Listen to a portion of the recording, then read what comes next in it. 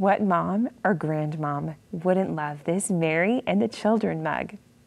Painted by Italian master Giuseppe Magni, this picture offers a rare glimpse into a beautiful encounter some children are having with Our Lady and the child Jesus. The children bow or kneel in adoration as they present their gifts of flowers to Jesus and his Holy Mother.